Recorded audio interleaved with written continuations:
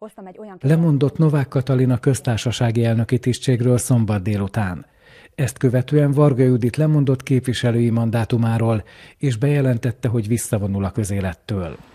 Tavaly Ferenc pápa magyarországi látogatása alkalmából elnöki kegyelemre terjesztette fel Varga Judit igazságügyminiszterként a Bicskei Gyermekotthon egykori igazgató helyettesének ügyét.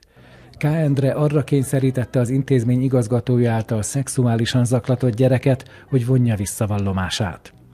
Ez a múlt héten derült ki, és heves tiltakozást váltott ki országszerte.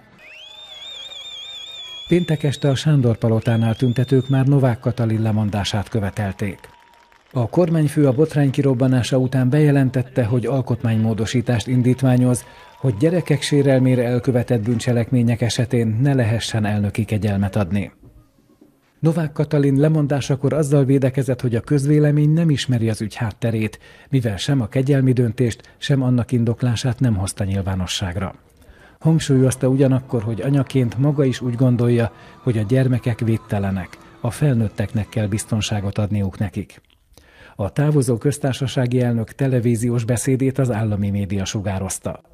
Novák Katalin megszólalása előtt stúdióbeszélgetést rendeztek, amiben a lemondáshoz vezető botrányt képmutató baloldali kampánynak nevezte Brázágoston Sámuel, a Nézőpont Intézet alapítója és kutatási vezetője.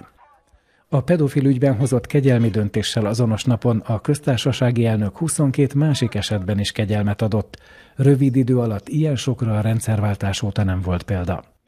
A kegyelmi indítványokat az akkori igazságügyi miniszter Varga Judit terjesztette az államfő elé, majd Novák Katalin elfogadta, végül Varga Judit tette érvényessé azzal, hogy ellenjegyezte azokat.